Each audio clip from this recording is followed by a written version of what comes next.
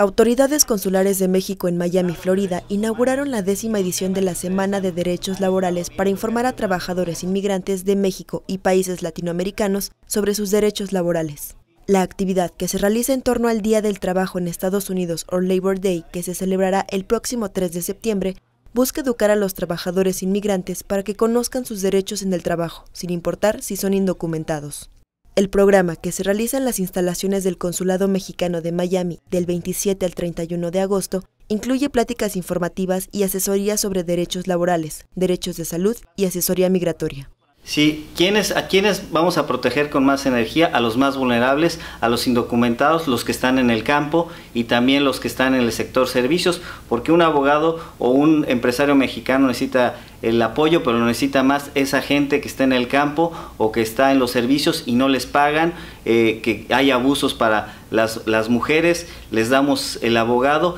y sobre todo también en el tema de la salud, eh, que tengan eh, el apoyo y el seguro los que están en el campo y los que están en el sector servicios. La Semana de Derechos Laborales se llevará a cabo en las 50 ciudades de Estados Unidos, además de que en varias de ellas se llevarán a cabo actividades en ferias, organizaciones comunitarias y consulados móviles.